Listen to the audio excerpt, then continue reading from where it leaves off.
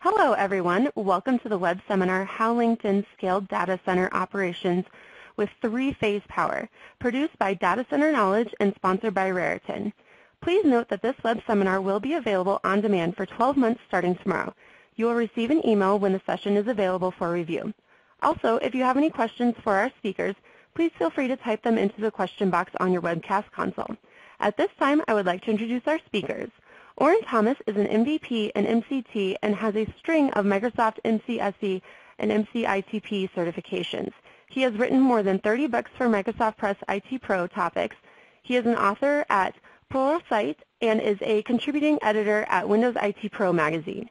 He has been working in IT since the early 1990s and regularly speaks at conferences in Australia and around the world.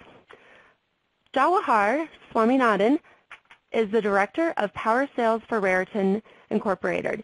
Based in San Francisco, Jawahar works with data centers customers to design and implement optimal power distribution and monitoring systems that help reduce energy usage and improve operations. Jawahar joined Raritan in 2002 during the acquisition of Aurora Systems Incorporated, a Hewlett-Packard spin-off company where he headed the client software development team. Since joining Raritan, Jawahar has contributed to the firm's entry and rapid success in the Intelligent Energy Management segment. Eric Wendorf is a staff engineer for Data Center Services. He is a master of space, power, and cooling, has elevated LinkedIn's data center to new performance heights in three short years.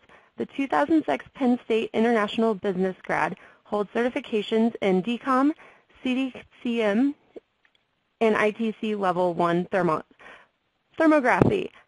And if that weren't impressive enough, you should know that he's also on the IDCA Technical Standard Committee, who will soon release a new data center standard that offers a holistic way to grade data centers from a application perspective. And at this time, I would like to hand things over to Orin. Hello and welcome to this session, a bird's eye view of data center design. My name's Orin Thomas and in this short session, I'm going to quickly give you an overview of things that you need to consider if you are designing a data center. Things such as data center cooling, cable design, fire protection, electrical design, and given what this overall seminar is about, I'll also give you a brief very brief introduction into three-phase electric power and three-phase electric power in data centers, with, of course, later speakers going into far more detail about this topic. Anyway, let's get into it. So the first thing I wanted to give you a brief overview of is really data center cooling. Because if you know anything about data centers, you know that cooling is actually one of the big things that you need to take care of when you're designing a data center. One of the things you need to think about is your airflow architecture. Very early on in data center design, when people started putting big computers in, in rooms, there was a feeling that you had to keep the entire room within one degree of 68 Fahrenheit, which is around 20 degrees Celsius. Since then, we've actually come to understand the way that air should move through a data center and the ways that we can get air to move through a data center in a way that cools the equipment in a way that's appropriate, that it keeps the, the equipment running, but does so in the cheapest possible manner. And the better you manage airflow in a data center, the less energy you're going to need to expend to cool that equipment. And the less energy you spend, the less cost there is involved. And data centers are really a lot about cost. You want to reduce costs as much as possible while keeping everything running and reliable. So you've probably heard of this idea of hot aisles and cold aisles. In a nutshell, what you do is you organize the racks so that the front of the racks is on one aisle and the back of the rack is on the other aisle. So you position things so that the front of the racks is where air comes into the blade or into the servers in the rack. And the hot aisle behind it is where air blows out of the servers, out of the blades, into an aisle. So you position racks so that aisles are hot or cold, but they're not a mixture of both. You introduce new air into the cold aisle, and then you remove air once it's blown through the blades or the servers from the hot aisle.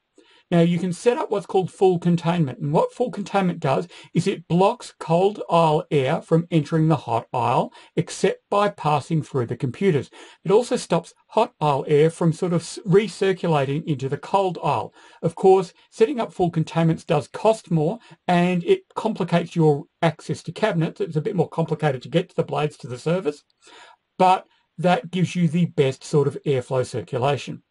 Now, when you're measuring the temperature in a data center, you do it from where the air passes into the rack, not when it's expelled after the cooling the components of the rack. So before it sort of gets moved out of the data center or back into a cooling area where it's returned before it's returned to the, the cold aisle.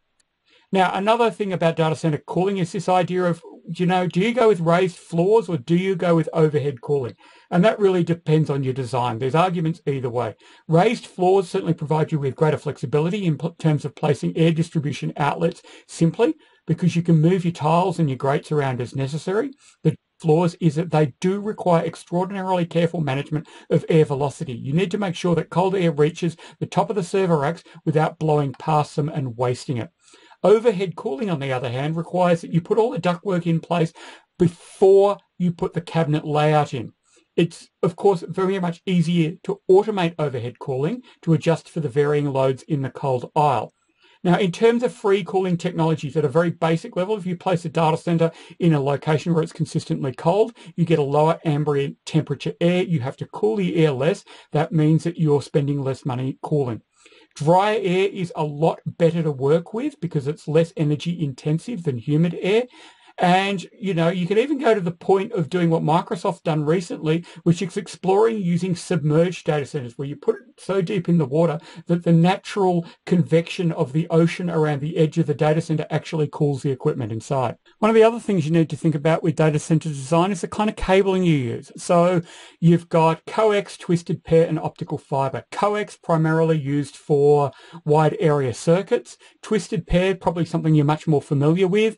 Um, you could have, but you probably won't have seen for some time, Cat 3 and Cat 5. These days we're really looking at Cat 6A, which is 10 gigabit Ethernet over less than 55 meters, uh, you know, coming down to about one gigabit if you go out to uh, 90 meters. And 90 meters is a good length for that. You have with about, you know, 10 meters for patch cords. If you go a lot beyond 100 meters, you get attenuation and problems. You've also got optical fiber that goes into data centers. You've got OM1, OM2, OM3, OM4. OM4 being what you'd put into a new data center gives you one gigabit Ethernet over just over a kilometre. If you want to go up to 10 gigabit Ethernet, you get 550 metres, which is half a kilometre. And if you want to go to 40 gigabit Ethernet, you'll get that over 150 metres or 100 gigabit over 150 meters. So going forward, you're looking at uh, optical fiber OM4 for your data centers. Now, with in terms of the future of twisted pair, we've still got a future of Cat 8 or 8.1 and 8.2, which will give us up to 40 gigabits per second up to 30 meters. So that's UTP rather than fiber optic. Now, in terms of your cable pathways, sprinklers and lighting should be placed above aisles rather than above cabinets in data center rows. Cable pathways must be designed to avoid maximum cable lengths for WAN circuits, LAN connections, and SAN connections, obviously. In terms of cabinet, rack and cable placement, lighting and telecommunications cable should be separated by 5 inches. Power and telecommunications cable should be separated by at least 2 feet. If you have your cabling under your floor, if you've got a hot-cold aisle configuration where cables are placed under access floors, telecommunications cables should be placed under hot aisles so as not to restrict airflow if underfloor cooling ventilation is used. If power cabling is placed under access floors in a hot cold aisle config under cold aisles to ensure separation of power and telecommunications cables. Underfloor cabling should have a clearance of about two inches from the bottom of the floor. Now, if you're using overhead cables, make sure that you place cables above cabinets and racks and not above aisles. And cables in cable trays that are hanging from the ceiling should not exceed a depth of six inches. In terms of fire protection and fire in your data center, fire protection should first and foremost limit the loss of life, then downtime, then equipment and data. Sprinkler systems are life safety systems, whereas gaseous systems and clean agent systems are what we call equipment protection systems. Now, with increased rack power consumption density comes much higher risk of overheating. The more overheating you've got, the more chance that you have of fire. So there's a couple of ways that you can protect a data center against fire. The first is passive fire protection. That just simply means ensuring that walls, floors and ceilings are fire resistance rated. Make sure your UPS batteries can are fire resistance rated.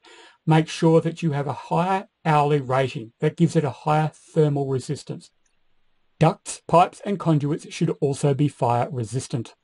In terms of active fire protection, in the old days before the international treaties to save the ozone layer, Halon 1301 was a standard, but today is limited to the maintenance of only existing locations.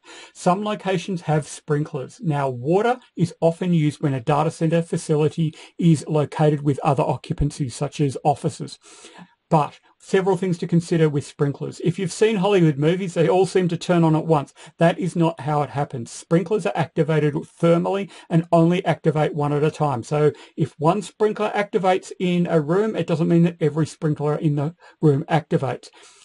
You may need to put sprinklers in accessible interstitial places and you need to consider when you're putting sprinklers in how water will drain after the sprinklers have been activated.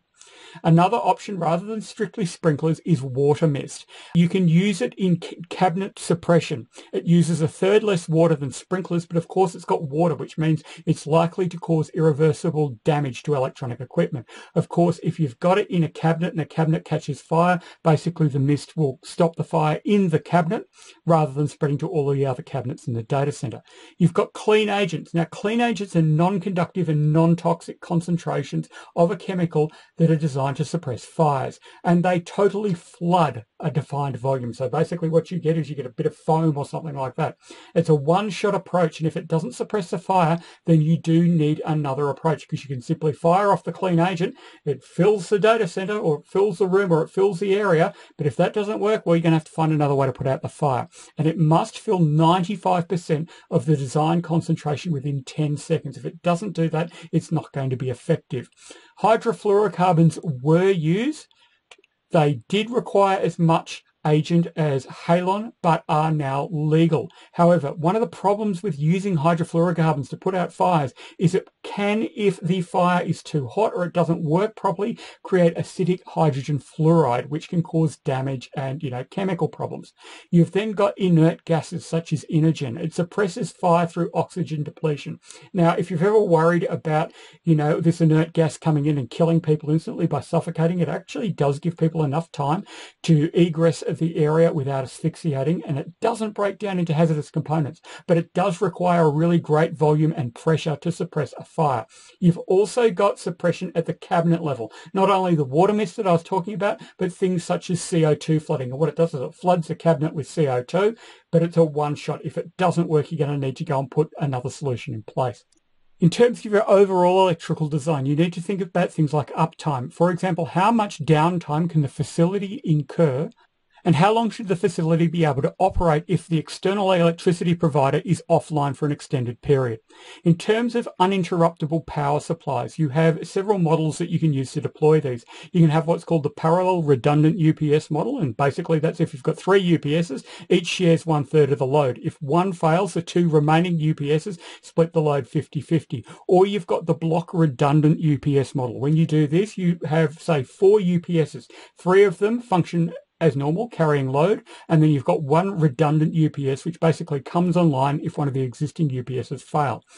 In terms of renewable energy, it's really good when you can use it, but I'll give you a, a, word of warning from Australia. Just the other week, we have a state called South Australia. South Australia's got a really big dependence on wind energy, and they had extremely strong winds that actually meant that all of their wind energy needed to be shut down. Otherwise, the great big windmills were going to basically tear themselves to pieces. So the state actually lost power entirely because they were so dependent on wind energy making up part of the grid.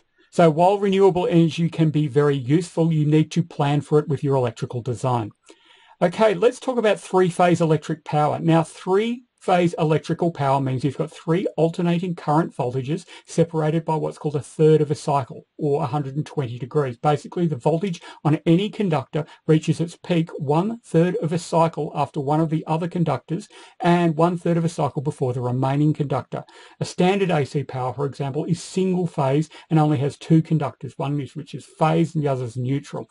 Three-phase electrical power provides constant load suitable for equipment such as computers and motors. The real big benefit is that it provides greater amounts of power over smaller and cheaper wires. That's three times as much power over one and a half times as many wires. Now, when you think about three-phase in the data center, and of course the next speaker is going to go onto that in some detail, remember that your data center power requirements are always growing. In the past, a nine-server rack consumed approximately five kilowatts. Today, you'll have a rack taking up the same space with 50 to 60 blades consuming approximately 30 kilowatts or six times as much. Now, three-phase power provides 1.7 times more amps per cable run from the source than standard alternating current. Anyway, what I'm going to do now is pass it on to Jawahar, who's going to speak in much more detail about three-phase power in data centers. Good morning, everyone. Although I can't hear you all, I'm sure you're all excited, as excited I am to be here with my good friend Eric Wendorf from LinkedIn and Orin from Data Center Knowledge. My name is Jawahar. A special shout out to Ashley for working hard on my name. It's not an easy one and you got it. So today we are talking about three-phase power in our data centers. Pretty much every data center has three-phase power. The only question then is, until where do you have three-phase power? Is it up to the floor PDU, the RPP, or all the way to the racks? Now let's look at one of the most compelling reasons why many of us consider bringing three-phase power all the way to the rack. So the question is why three-phase power at the racks? Because it gives us a very efficient and cost-effective way to effectively double our rack densities without doubling our cost to do so. In the illustration here, we can see how with the same 30 amps rating, we almost doubled the number of servers deployed in a rack with three-phase power. If we make the jump all the way to 415 volts three-phase, we quadruple it. Now I'll turn it over to Eric from LinkedIn to share his insights on the same. Yes, thank you, Jawahar. So what does three-phase power mean for LinkedIn? The three key outcomes from leveraging three-phase power at the racks are scale, savings, and uptime. You all may have heard the terms web scale and hyperscale before, but what it all boils down to at the end of the day is simply scale. It is your ability to grow, but not, not just growing larger, you also need to be able to do more work within your existing footprint. Scale leads us into savings. By leveraging three-phase power at the racks, LinkedIn has significantly driven down our cost per member, or cost to serve as we call it, by allowing higher per cabinet kilowatt densities and therefore more compute in the footprint. Three-phase power at the racks also gives you a more resilient power distribution chain to support your IT equipment. But increased resiliency doesn't have to be the only benefit. By also leveraging smart PDUs, LinkedIn is actively monitoring our IT loads, and with outlet level metering, it gives us the power of smart deployments, the ability to maintain phase balancing, and it also helped us to achieve the Uptime Institute's Efficient IT Award for our new facility in Hillsboro, Oregon. As I mentioned, three-phase power has allowed us to scale and increase our densities. Our typical deployments went from about 32 server nodes at about 5 kilowatts per rack into the realm of 96 server nodes at about 16 kilowatts per rack. And with our next iteration, we are testing new systems that could push us into the neighborhood of 24 kilowatts per rack. We are able to do this because we know the exact wattage draw per system before it is deployed. Using the data we collect from our smart PDUs, we can compute the expected density of each rack before it is even bolted down. This knowledge will tell us if we need to use the standard North American 208 volt distribution or if we should be employing a 400 volt distribution setup. Once that has been decided, we then select the proper amperage rating for our in-rack PDUs. And now Jawahar will go further into 208 volt versus 400 volt distribution. Thank you, Eric. And congratulations again on the well-deserved award. When it comes to three-phase power at the racks, as Eric mentioned, we do have two design choices in the United States. The most common one is the 208 volts three-phase, which is essentially 480 volts three-phase stepped down all the way to 208 volts. The newer standard that we alluded to is the 415 volts three-phase that our international audience would be very familiar with. Every time voltage gets stepped down, we lose some energy. Simply by using the laws of physics, stepping it down just to 415 volts, we save up to 3% in energy costs by eliminating transformational losses. Moving to 415 volts is a big decision, and if we are not ready for it, 208 volts three-phase presents and choices in itself. Delta versus Y. I don't know about you, but the delta versus Y that you're all familiar with does not always always help in that decision. So we're not going to see that today. Instead, we're going to look at the same question of delta versus Y from our needs perspective. Are all our servers and switches take, do they take 208 volts or do we have a need for 120 volts at the racks? In other words, do we have any legacy devices that still require 120 volts power and cannot operate at 208 volts? If the answer is yes, then we go with three-phase Y circuits because that's the only way you're going to have a neutral line in the data center and provide 120 volts by wiring line to neutral, along with 208 volts in the same data center by wiring it line to line, sometimes even on the same strip as we see one here. Now, if we don't need 120 volts and we don't have legacy devices, then the choice is simple. We can avoid having a neutral and save the cost of copper, which could be significant. We can't talk about three-phase power without discussing the importance of balancing the three phases. And I'll turn it over to Eric to share some of his experiences on that.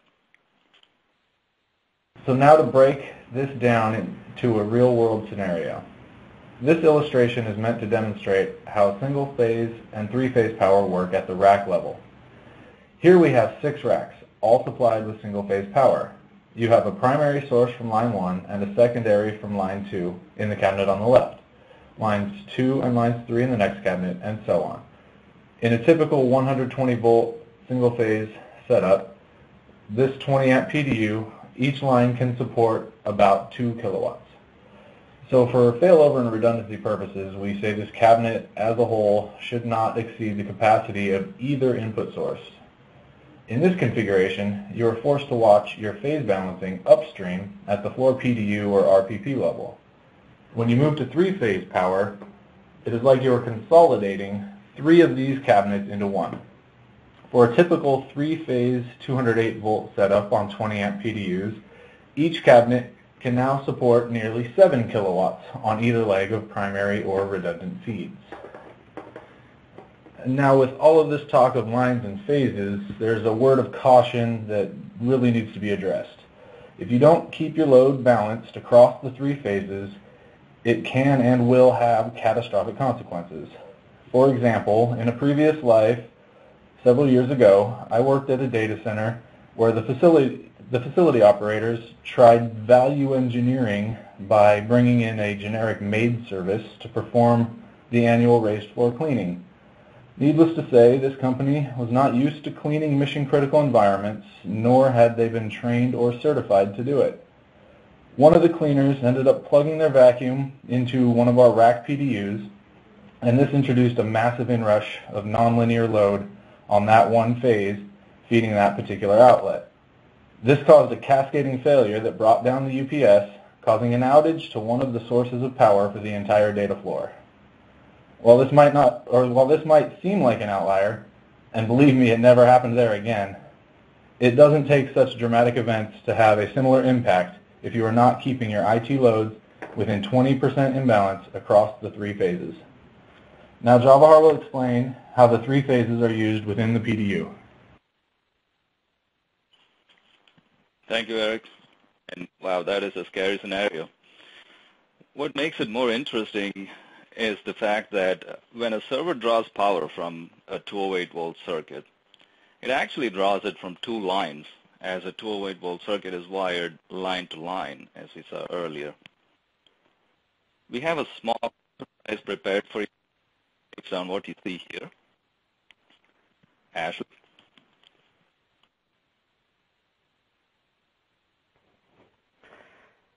All right, thank you, Jawahar. If L1 is 5.5 amps, L2 is 5.2 amps, and L3 is 4 amps, what is the unbalanced load percentage? We'll give you guys about a minute to respond, and then we will go to the answers.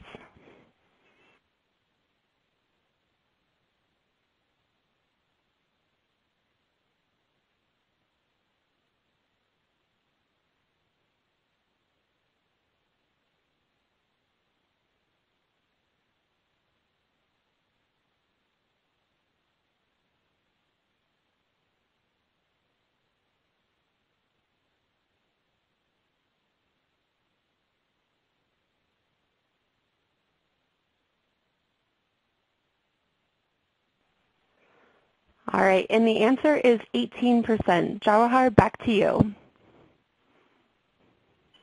All right. Thank you, Ashley. That's a very interesting mix of responses. Um, although most of you got the 18% right, there were a few responses that were pretty close. So let's take a moment to go through this. I'm sure you all had your coffee this morning, so you should be all good to go into the math. So we start with the average of the three lines. That's the first step. And we use that to find the unbalanced load per line. Then we take the maximum of the three, and that gives us our overall unbalanced load, and then we convert it into a percentage. So that's how we arrive at the correct answer of 18%. Now, the lower the number, the better. So congratulations to all of you that got it right.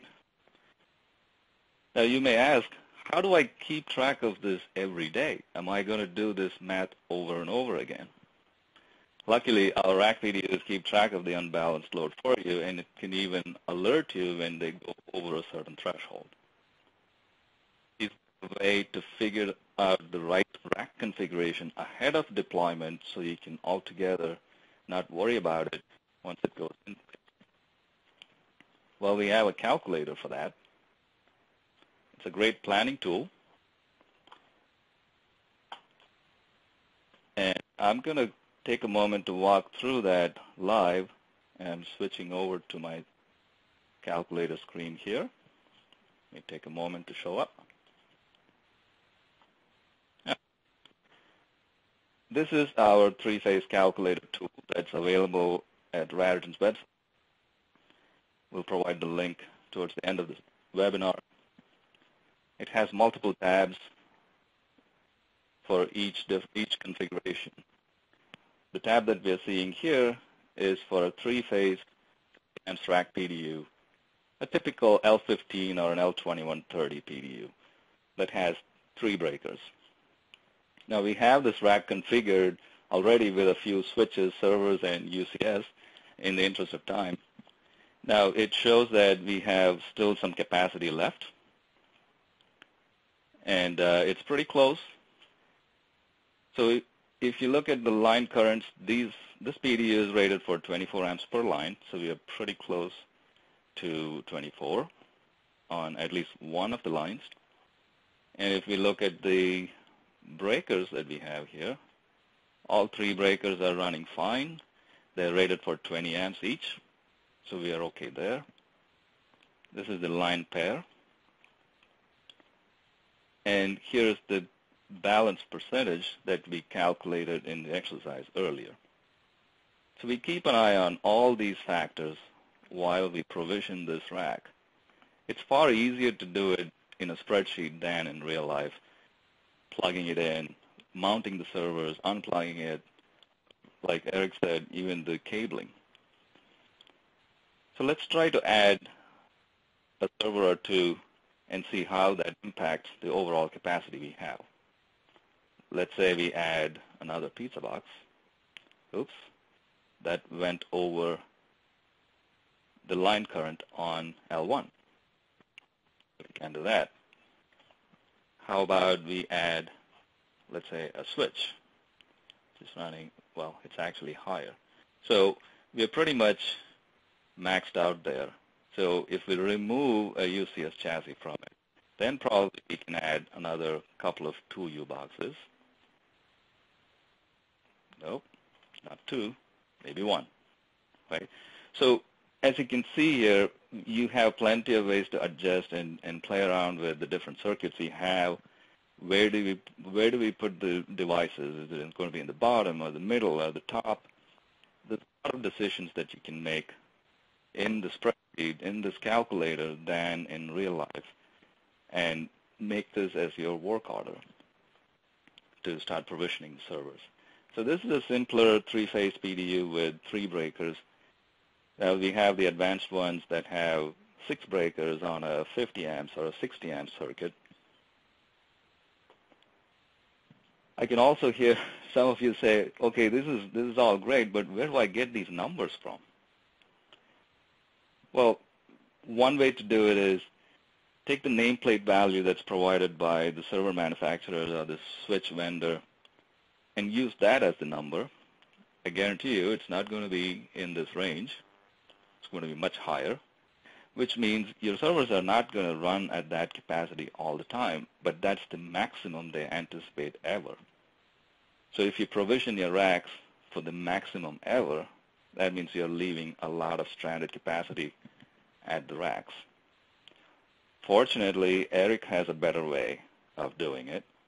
So I'm going to turn it over to Eric to walk us through that. That's right, Jawahar. Uh, as pretty much everybody knows with their BMS systems, there's thousands of data points inside a data center. Uh, and, and, data is really key to managing a data center. Uh, LinkedIn has developed several internal tools to gather that data that Jawahar has been talking about. So here you can see an example of LinkedIn's internally developed DCIM tool. I've blocked out the sensitive information. This view shows one of the rows in our data center. If I click on one of the devices, for instance RU35 in the fourth rack, a details window will pop up giving tons of information about that device. For this exercise, we're interested in the model and template. If I click on the rack itself, it takes us into a cabinet view. Here you see that RU35 is mapped to power outlet 43. In a custom database, we store the historical draw values for each outlet, so that can then be mapped to the exact model and template associated with it. In this case, we see that a generic Cisco C220 draws a max of about 174 watts. But this specific template, the Dash 10, only peaks out at 149 watts. So now to take those figures and plug them into Raritan's three-phase power calculator, I'm going to show you an example of the calculator that you just saw Jawahar walk through. Um, but this one is configured for six breakers and the 54 outlets that LinkedIn utilizes. So when all 48 devices are the same, uh, there shouldn't be any issue. Everything's balanced, everything's pretty much the same, in, in the cabinet. But what happens when we change our deployment philosophy and now there's a mix of devices in the cabinet? If I just blindly plug devices into outlets without regard, I could end up putting all like devices clustered together on one branch breaker. For example, if I were to, say, put a stack of web nodes here on this branch that all draw, say, 1.1 amps, you see that we start to get a little higher draw on lines 1 and 2, and our phase starts to become unbalanced. And now if I were to also put maybe some storage nodes on this branch, and these draw even more, say 2.4 amps, you can see that our line current total power are all okay. They're in the green. There's no problems. However, if you look over here, line 3 is out of balance by more than 20%. By simply utilizing this tool, you will see that your high power draw devices need to be spread out and you will be able to easily move them around before it gets into the field and causes a significant amount of work for the on-site technicians who will either have to run new power cables, which could wreak havoc on their cable management, or depending on your company policy, they could have to physically move around all of the devices so that they match the particular rack unit. Or, even worse, if you don't catch it soon enough, the IT systems will have already been imaged and deployed, making a fix potentially service impacting. So that about wraps up um, our discussion on three-phase power in data centers and Raritan's three-phase power calculator. We hope all of this information was helpful and that you enjoyed our presentation.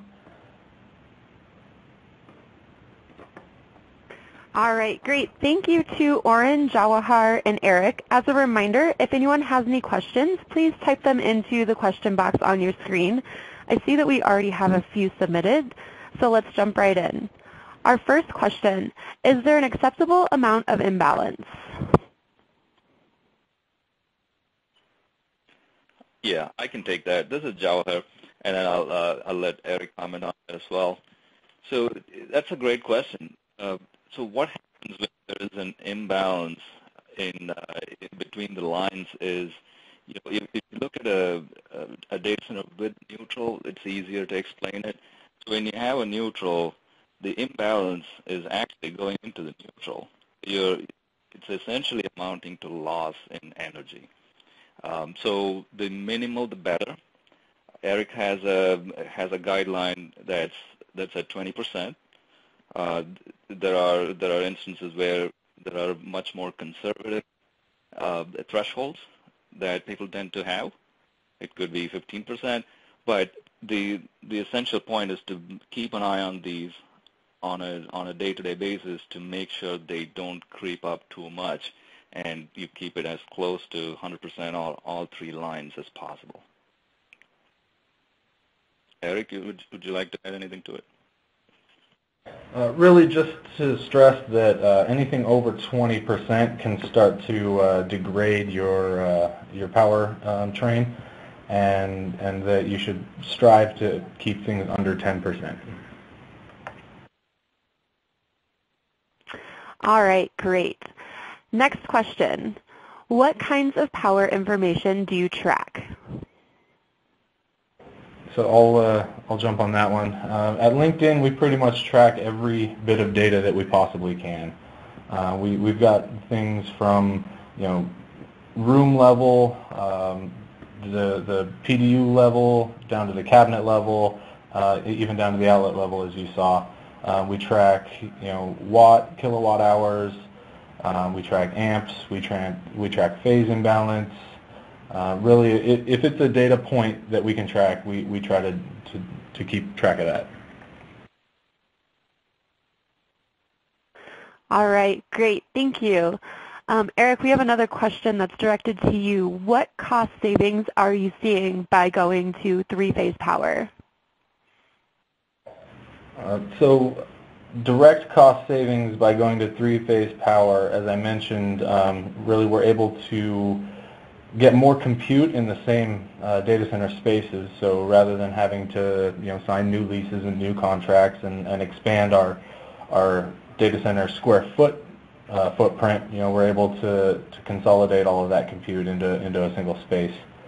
Um, you know it, it, also is more efficient and more resilient. Um, so it, it's really all the factors involved kind of add up to incremental cost savings that that make three-phase power the, the right choice. All right, great. And then next question, how do you track servers that are idle?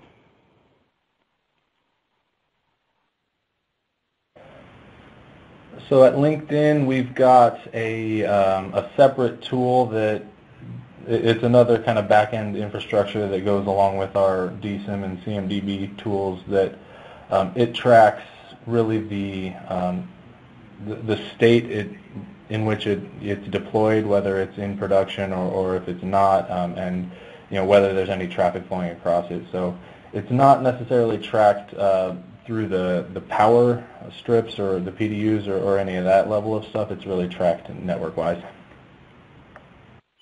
Ashley, if I might jump in. So uh, there, there, are a couple of ways to do that as well, and, and uh, like Eric pointed out, some uh, some customers do it through through the power, some through net, some through CPU utilization, or a combination of all three. And uh, if you're doing it through power, you can see there's a there's going to be a power signature, if you will. When you run your servers at uh, when you provision your servers, and uh, like we saw earlier, there's a way to find out what you anticipate that server is going to draw and you, that's your benchmark. So after that, if you see a server consistently running much below that threshold or that benchmark, then that's clearly an idling server. Now, can you just go ahead and uh, and and power it off? Absolutely not. Right? You're going to have checks and balances within your organization before you do something like that. But at least it gives you a way to catch those servers that are just doing nothing. Um, so you, you get the power footprint and you see a flat line, and that, that gives you an idea that something is wrong or something is ready to be uh, uh, powered off. And then you can correlate that with your CPU utilization curve. And if that's also a flat line, then that corroborates that, and you can make an informed decision with it. So there are multiple ways to do it and sometimes it's a combination. Just the uh, just the amount of um, information you have would make it make a strong case for the next action you want to take. All right, thank you for the added information, Jawahar. Um, our next question, how does LinkedIn plan to integrate new technologies in the electrical infrastructure within its existing legacy facilities three to five years old? That's a great question. Uh, LinkedIn is constantly reviewing new technologies, uh, trying to build for the future, uh, you know, planning at least five to ten years out. Uh, so, um, you know, how do we do it? We're, we're always keeping our eyes on the market, always looking for new technologies, and when we find ones that we, uh, we feel deserve to be um, tested out, we, we bring them in and, and we'll throw them into kind of a lab environment to see how they really perform.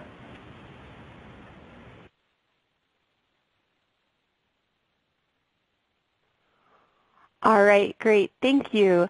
Next question. This one is for Jawahar. You talked about using high voltage power to gain efficiency by reducing transformer losses. Are there other benefits? That's an excellent question. So, yeah, higher, higher density also means less white space used. So you, you save significantly on the the amount of data center floor that you need. So thereby, know, the cost adds up, uh, or the savings add up, I should say. Higher voltage uh, also mean less current, and therefore the cables are thinner, as Orin was explaining earlier. So thinner cables mean you have less copper in them, which also translates to uh, savings because copper is an expensive commodity.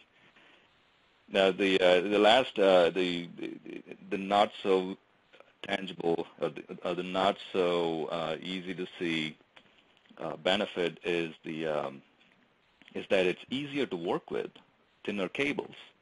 If you've seen these high high amperage cables that we provide on some of the 208 volts power strips, they're pretty. And imagine how you're terminating these into plugs and outlets. It's it's pretty uh, it's pretty involved and intense. So thinner cables definitely saves you saves you time and, and, and effort on just cabling and bringing the infrastructure up. So there are several benefits to to to having a higher voltage, not just 3% efficiency gain that you get. All right, great. Thank you. Next question is for Eric. What is your preferred method of getting three-phase to the rack, flexible, whips, or busway? Uh, so at LinkedIn, um, we, like I said, we, we try to test things out. We try to, to constantly be innovating and looking for the new, new and next technologies. So um, really what, what we're looking for is the ultimate in flexibility. And for that, um, we employ a, uh, a busway system to deliver power to the racks.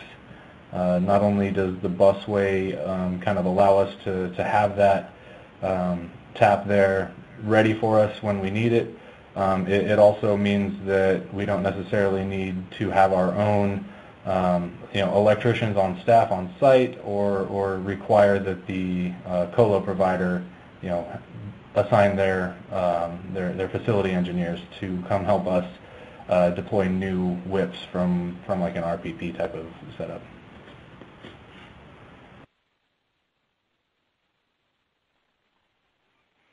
All right, great. Our next question, how does three-phase compare to using DC power?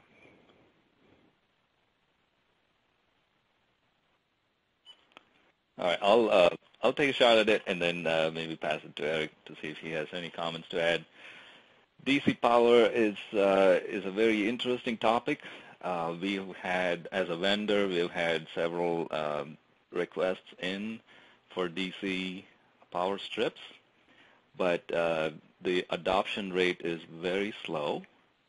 Although it's a, uh, it's a highly debated topic whether DC provides uh, a much better efficiency in the data center the, the equally debated topic is on the safety concerns of operating a DC powered data center that's not just for like telecom equipment that takes much less power compared to a to servers.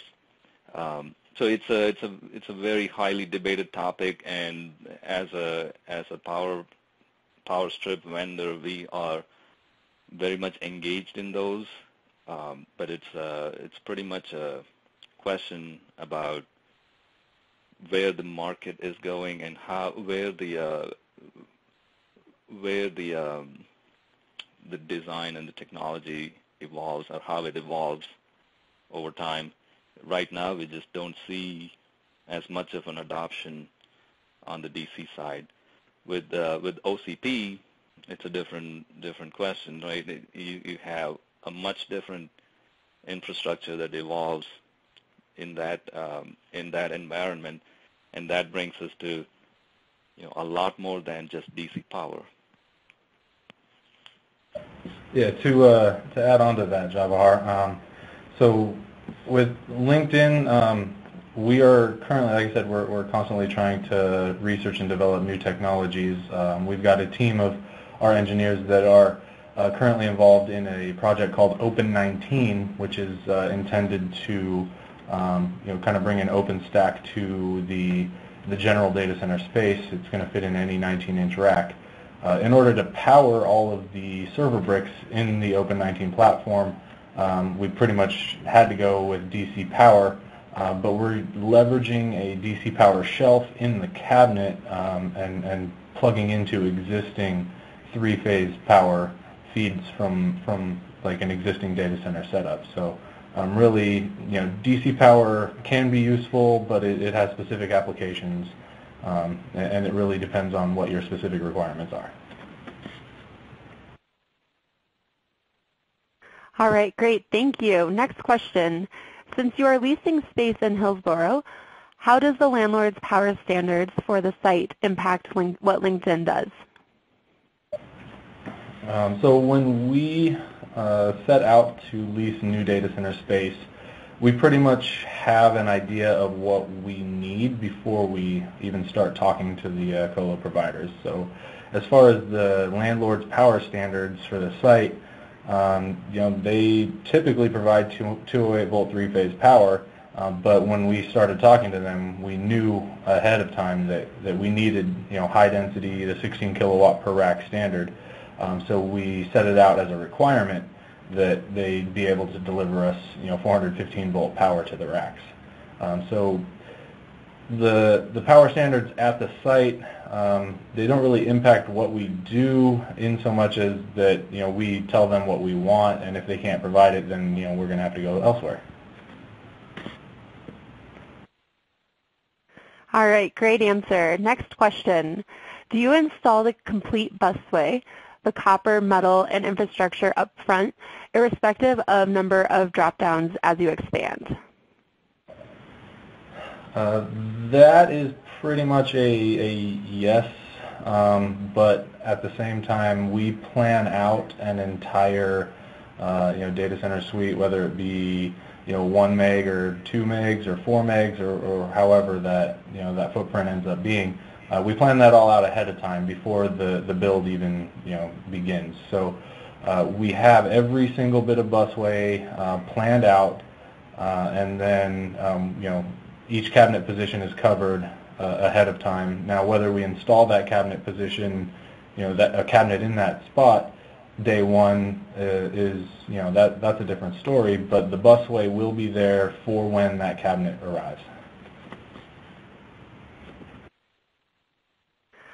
All right, great. Thank you. Next question. Does higher voltage in the data center mean increasing amount of RF or other interferences?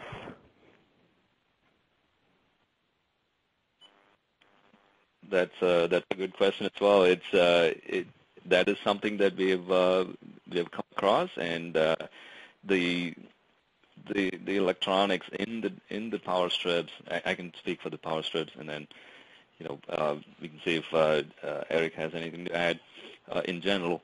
But yeah, as far as the power strips are concerned, we do have we do have measures to protect against the the increased interference. Um, these all these power strips in the U.S. are UL listed, and UL makes sure that's one of the criteria for us to pass UL.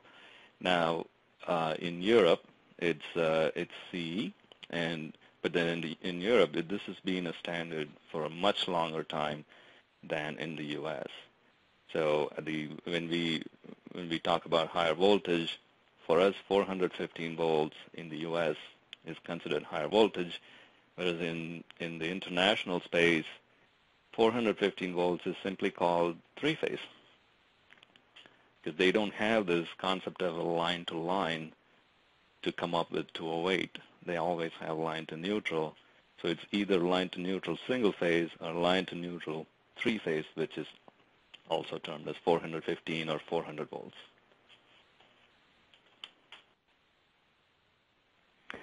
All right, great. Thank you. This next question is data center power requirement is increasing. Are data centers adopting higher voltage or higher amps? From uh, from what we see, this is uh, Jawahar again. From what we see, um, the the trend is definitely higher voltage, and uh, rather than higher amperage.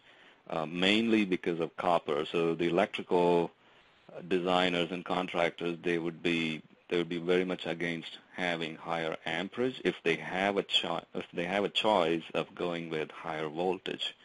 Um, it's just easier on, on on everybody and also on the budget. All right, great. This next question is for Eric and Jawahar. I am interested in moving to high voltage power. What do you recommend if you have both high and low density configurations in the same data center?